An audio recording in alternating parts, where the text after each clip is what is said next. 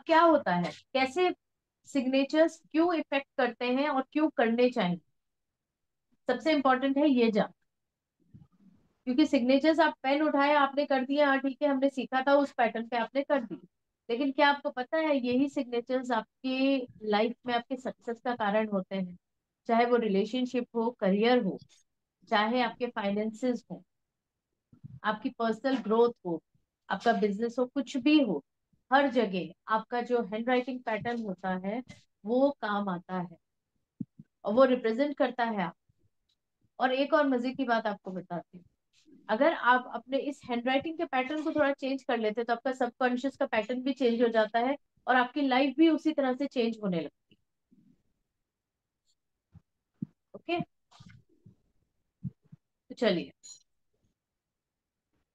अब किस तरह से ये होता है, ये बता, बताते हैं।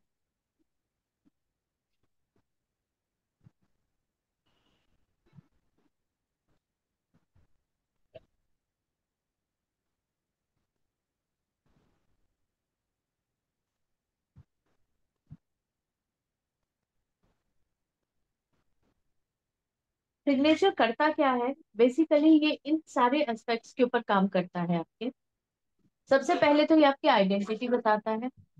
ये आपके आपके एग्जिस्टेंस का बेसिक है। बेसिस है ये। ओके आपकी पर्सनालिटी का मिरर है। आपकी जो सबकॉन्शियस स्टेट है, जो आपकी अंतर अंतर जो आत्मा अंतर मन होता है, वहाँ पर जो चीज़ें स्टोर्ड है, उसका ये आईना होता है। आप किस तरह से सोचते हो? किस तरह से अपनी लाइफ को जीते हो वो सब सिग्नेचर और हैंड राइटिंग बता।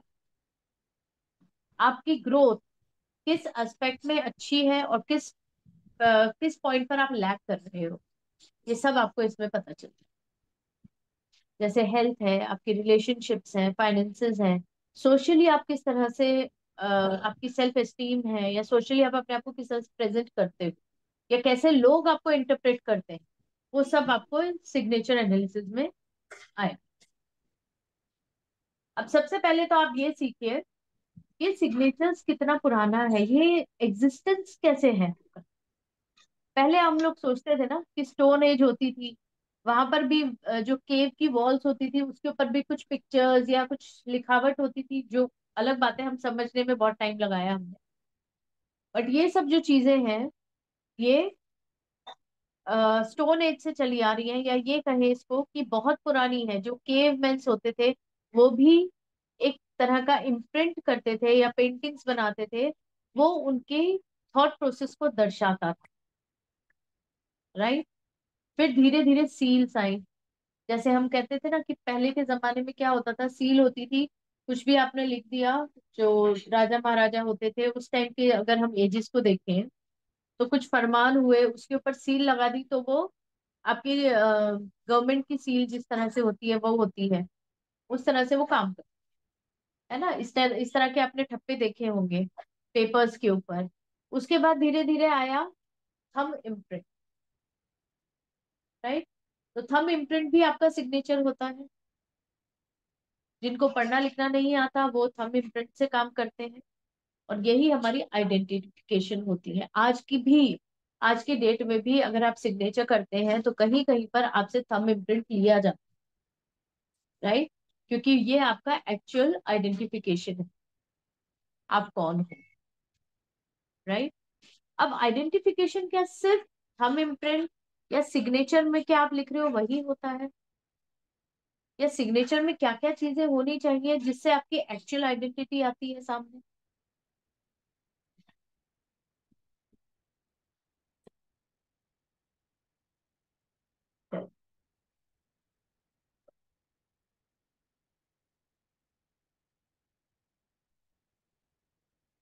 अब आपको हम बताते हैं कि इसमें क्या क्या चीज़ें आप निकाल के दे सकते हो और किस टाइप का नाम आपका है।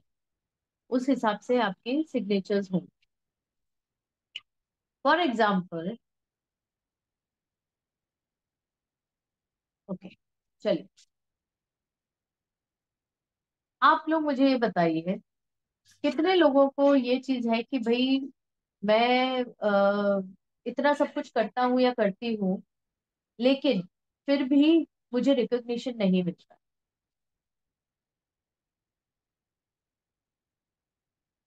कितने लोग ऐसे हैं कि ऐसे उनको जाना जाता है, कहते हैं ना कि फादर के नेम से जाना जाता है।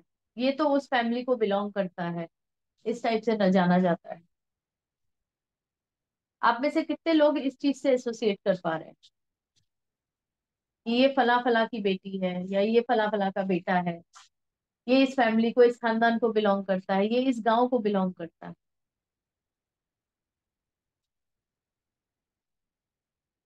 हुँ? तो वो कैसे पहचाना जाता है, वो समझिए। नाउ, अब हम एक एक सिग्नेचर को थोड़ा सा एनालाइज करें। तो पहले आप ट्रेड समझ लीजिए। होता है कभी कभी होता है है ना? आप में से मुझे एक चीज़ बताएँ आप में से कौन है जो अपने नाम का सिर्फ़ और सिर्फ़ इनिशियल लिख और सरनेम पूरा लिखते हाथ उठाए। नाम का इनिशियल जैसे फॉर एग्जांपल सबसे पहले अ, सूरज ओसवाल जी हैं तो वो लिखेंगे एस ओसवाल। ऐसा इस तरह से। कौन कौन लिखता है? चंद्रिका जी आप लिखते हैं। और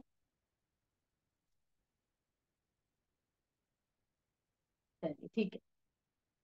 ऐसे जो पर्सनैलिटीज होती हैं, उनको लोग दूसरे नामों से ज़्यादा आइडेंटिफाई करते हैं, उनके सरनेम से ज़्यादा आइडेंटिफाई करते हैं। क्योंकि आपने क्या किया, यहाँ समझने की कोशिश कीजिए। ये मैं आपको बता रही हूँ ताकि आप सिग्नेचर्स को समझ पाए, किस तरह से आपको करना है। ओके?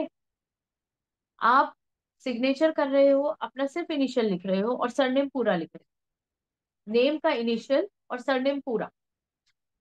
तो इसका मतलब क्या है कि आप सरनेम को इम्पोर्टेंस दे लो, वो पूरा पढ़ने में आ रहा है। राइट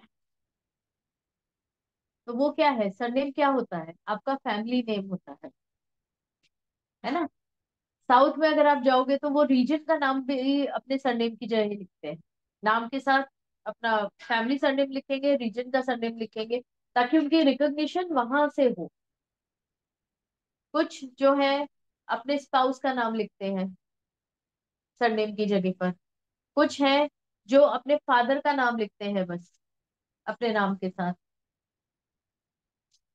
राइट ऐसा करते हैं ना सब? तो इसका मतलब क्या है कि आप जिसका पूरा नाम लिख रहे हो, उसको अपने आप से ज़्यादा इंपॉर्टेंस दे रहे